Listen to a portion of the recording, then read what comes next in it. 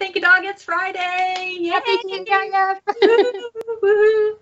Super happy to see you, everybody. We're um, actually not live today because I'm probably currently in the car traveling, so cannot be here with you. But due to the magic and miracle of technology, we are recording this so that I can be with everybody and Hillary and I can do our fun Thank Dog It's Friday craft like we always do. So Yeah. we're super excited. And I am hanging out in the comments right now. So if you have questions, if you want to comment anything, I'm there. So Lurking in me the in the future is there. exactly. I'll be there Exactly. waiting and listening if you have any questions.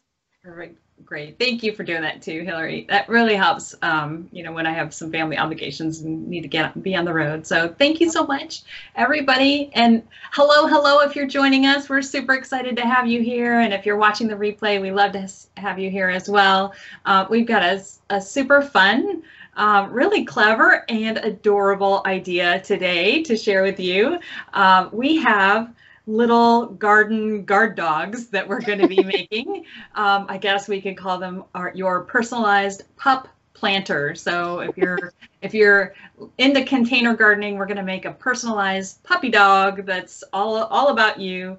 Um, that you can put plants and flowers and all that kind of good stuff in. So I think the first thing we start with is a terracotta part, pot.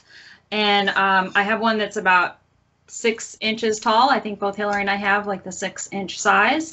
And you'll need two of them, one for the upper part of the dog's body and then one for the lower part of the dog's body, basically. And then we kind of got started a, a little bit ahead of time because it's like watching paint dry. Quite literally. so you paint. Really, is these are simple instructions. You paint this is the next step. And so I started with a white body and then put some brown markings um, for wherever you want your brown spots to be. And uh, you can use a pencil if you want to, like if you're going to mark out certain points, you can just lightly draw on a pencil. It's very easy to draw on these terracotta pots. You don't need to do it super dark or anything like that. But just to give you a little bit of guideline as you're painting, and I have some kind of different areas where I've left a little bit, and then I have this kind of gold. All of mine, I um, ended up using metallics because that's what I had on hand. so we're going. That's fine. Yeah, exactly. Whatever you've got. I've got a couple colors here, kind of an off-white and a let's see, a chestnut brown, and then I've got just some samples that you can get real inexpensively, like two or three dollars at Lowe's, um, with some other colors that that you might need. And then here's my base as well. So you can draw on little puppy puppy toes if you wanted. We've both got a little collar, and mine's going to be clover, so I made a little clover, little um, ta- doggy tag on there. Um, so yeah, we can, and you can customize them just for whatever color scheme your dog has, wherever their spots are or all the colorings are. So really sky's the limit. Um, it's a lot of fun and we're going to finish up our little faces today. Um, again, just it was easier just to get a little bit of a head start. Oh, and that's Lulu.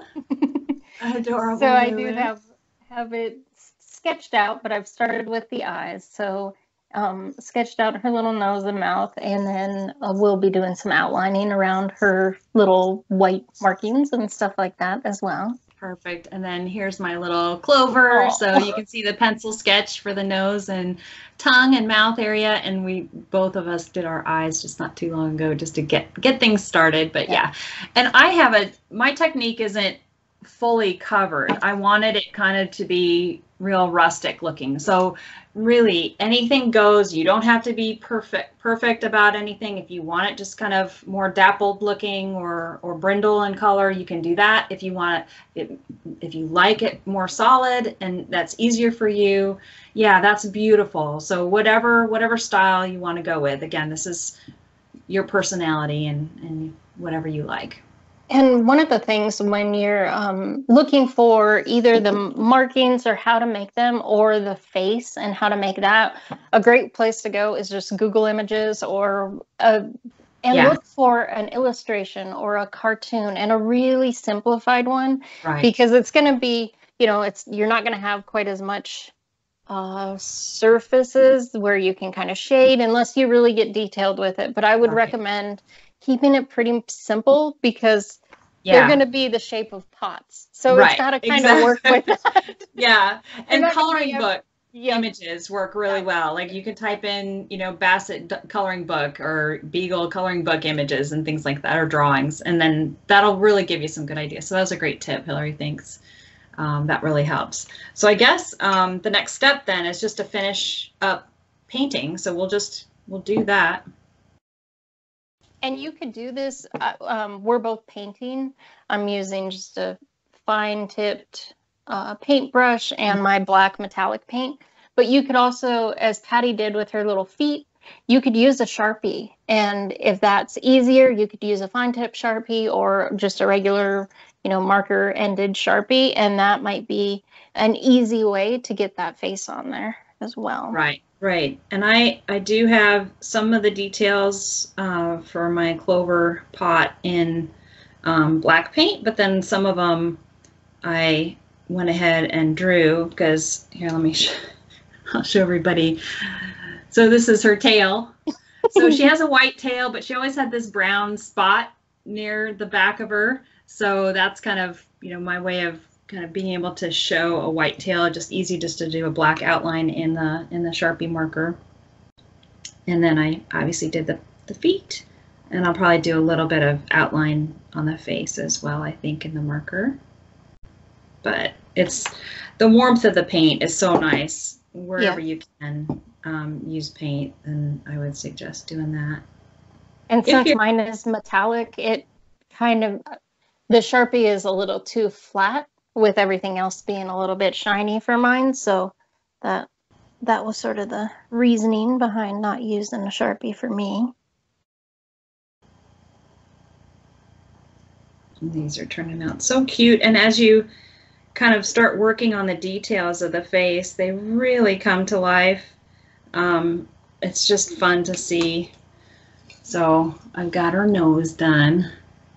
Oh, it's so cute. It's amazing. Just one little detail, and all of a sudden, like their personality starts to come out. All right, and I'm going to do a little pink tongue. I'm terrified I'm going to open up one of these jars and end up having paint like just Get to wear it. all over me.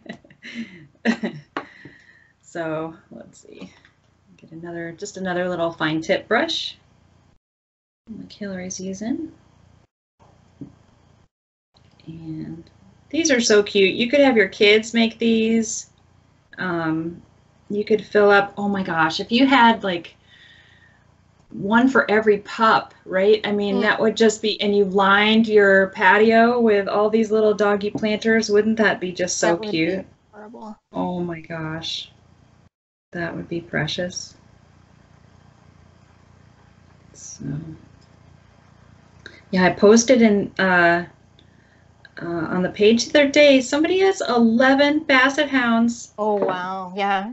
in that huge rocking chair. Yeah. Oh my gosh, that was just awesome. I had to share that. That looks like Basset heaven. be a lot of fun.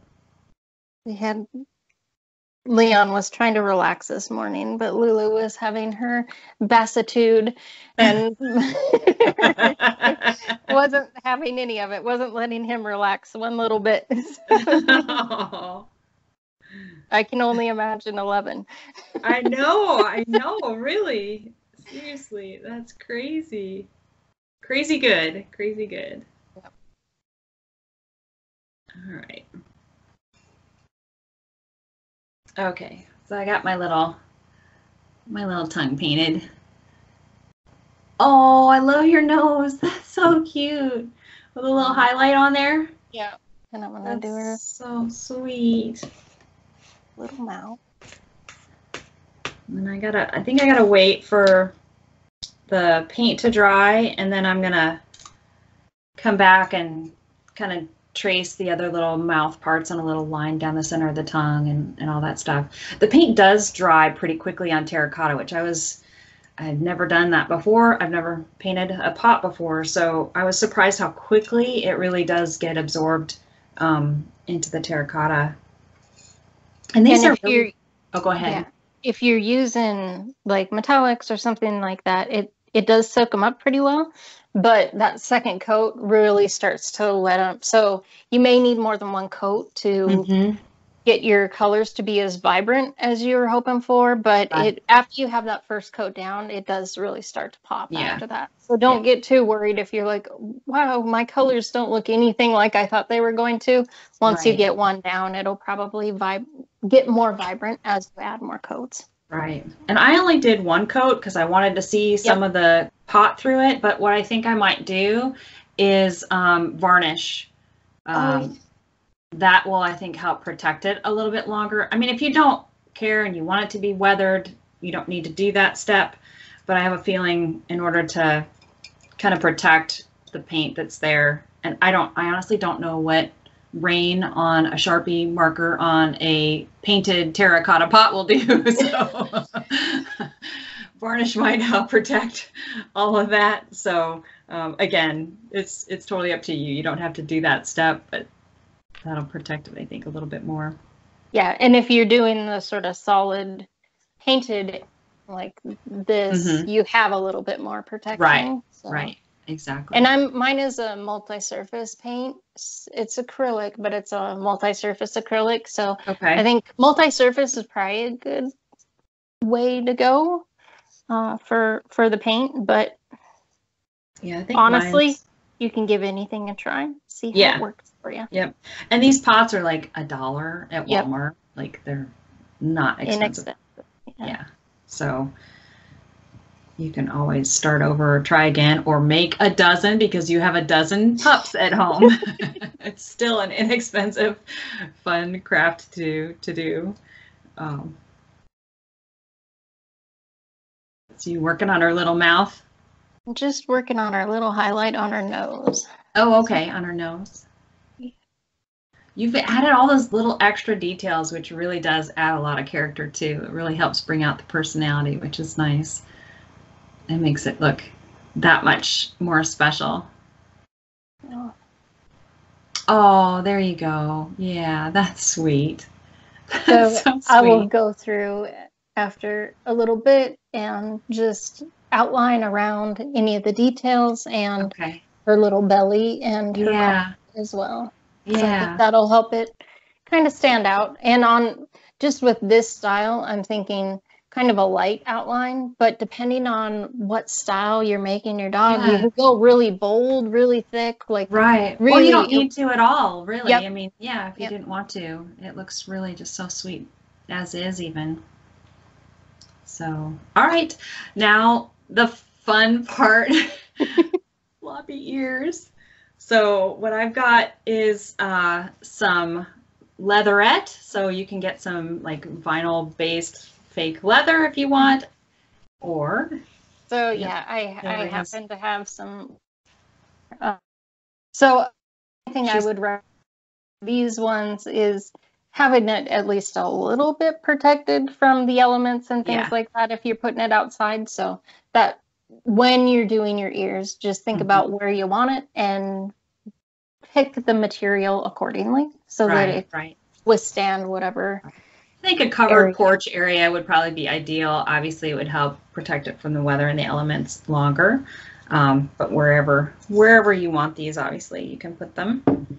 Um, and you could use felt too. Um, so you, if you don't have leather or uh, a leather, fake leather product, you Leather, know, like yeah. leatherette, whatever they call this stuff, um, then yeah, you can use felt too. So whatever you've got at home. So we're gonna just hot glue these in place. And I actually think I've got Lulu's ears over here. these are not clover ears, but I wanted big floppy ears, so uh, so that's what I'm gonna be doing. I'm just gonna glue these on.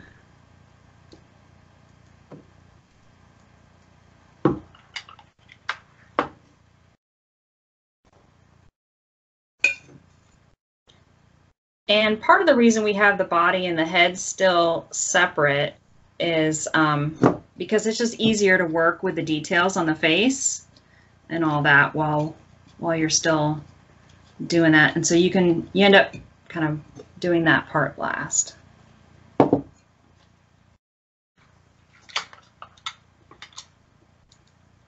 All right. This is a really cute project. Sorry, everybody. I'm going to just kind of see where I'm placing this. I think this will work.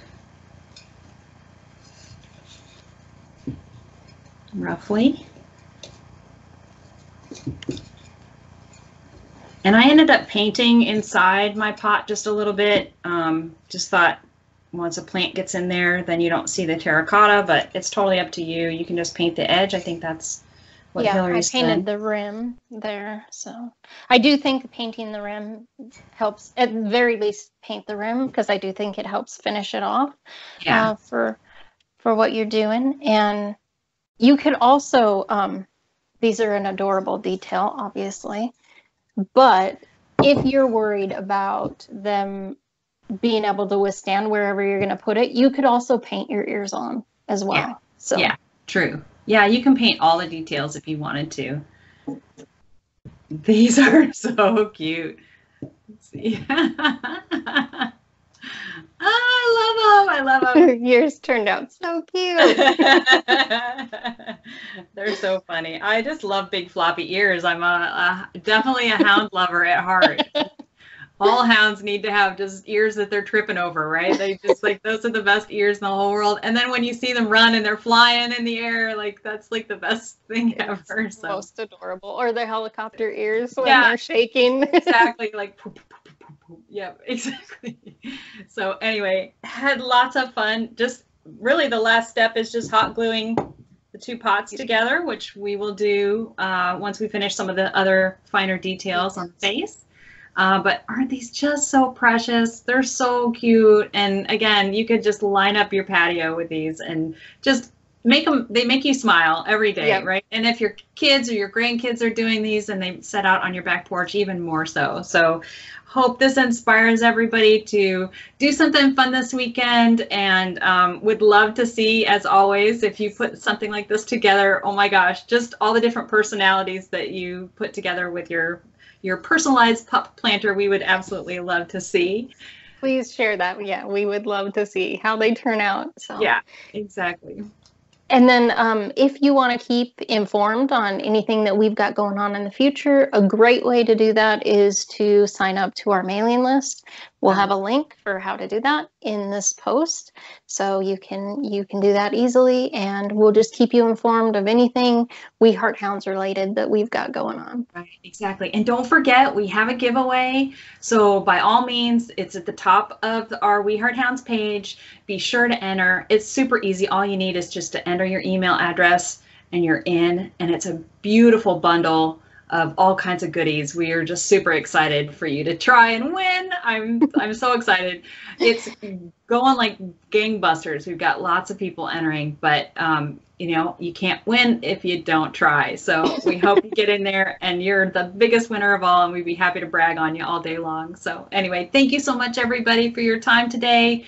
We truly appreciate each and every one of you. We really do from the bottom of our hearts. Think a dog, it's Friday. Have a great weekend. We'll see Thank you you. later. Bye Bye-bye. bye.